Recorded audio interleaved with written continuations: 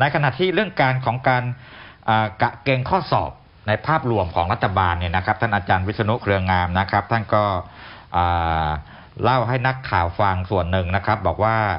ก็คาดการณ์ว่าน่าจะเริ่มต้นอภิปรายด้วยการบอกว่ารัฐบาลนี้มาจากการยึดอำนาจ ซึ่งก็เรารู้อยู่แล้วว่ามันไม่ใช่คนละเรื่องกัน และในประเด็นยติที่ฝ่ายค้านเขียนมาสองหน้านั้นแยกได้ 15 ประเด็น ประเด็นไหนเกี่ยวกับใคร ให้ก็ให้คนนั้นลุกขึ้นชี้แจง เช่น เรื่องปฏิรูปการเมือง และเรื่องรัฐธรรมนูญตนจะตอบเอง ส่วนเรื่อง PM 2.5 ก็รัฐมนตรีว่าการกระทรวงทรัพยากรธรรมชาติและสิ่งแวดล้อมเป็นคนตอบ เรื่องน้ำมันรั่วก็รัฐมนตรีพลังงานในขณะที่นายกรัฐมนตรีก็บอกกับอ่าครมนะว่าไม่ได้กลัวอะไร เพราะว่าชินแล้วมั่นใจตอบได้ทุกคำถามนะครับ นอกจากนี้เนี่ยท่านรองวิษณุก็เล่าให้ฟังว่านายกรัฐมนตรีเนี่ยในที่ประชุมครมเนี่ยนะคือท่านก็แจกหนังสือ ไม่ใช่คู่มือการรับอ่าคู่มือการสู้ศึกอภิปรายเลยนะอืม แจกหนังสือธรรมะเพราะเหรอฮะอ่าเอาธรรมะแจเข้ากคมหนังมาสือฮะใช่แจกหนังสือธรรมะของท่านววชิระเมธีอ๋อนะครับค่ะให้กับคณะรัฐมนตรีทุกคนแล้วก็บอกว่า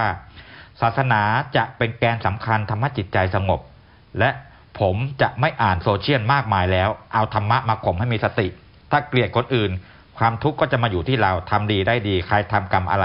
ก็ได้ตามนั้นไงก็ท่านก็บอกว่าสวดมนต์ทุกวันเลยอืมนะเอ่อเนี่ยแถมยังไปแซวท่านอนุทิน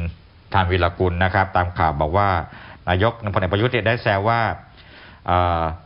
คือแซวเรื่องพระไงว่าเพราะว่าเอ่อรอบนี้จะแขวนพระอะไร ห้อยพระอะไรเข้าสภาดี อันนี้ก็เป็นเรื่องแบบเอ่อคุยกันขำๆแต่ว่าสาระสำคัญก็คือว่ามีการซักซ้อมมีการกะเกณฑ์กันว่า ฝ่ายค้านจะต้องเปิดประเด็นแบบนี้แบบนี้แบบนี้นะอืมอืมเนี่ยอย่างที่ท่านอาจารย์วิศนุเก่งไว้เนี่ยนะต้องพูดเรื่องนี้เนี่ยมาจากการยึดอำนาจนะ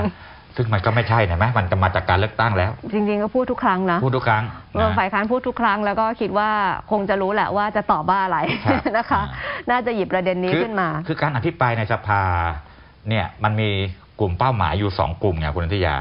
ด้านหนึ่งพูดให้คอรมอให้สมาชิกสภาฟังอืมว่ารัฐบาลนี้เป็นอย่างนี้ อีกด้านหนึ่งพูดให้คนข้างนอกฟังอืมใช่ไหมถึงบอกไงว่าพูดให้คนข้างนอกฟังอันนี้ดีอ่าอันนี้ดีแต่ว่าข้อมูลต้องปึกนะคะอ่าเพราะถ้าข้อมูลไม่ปึก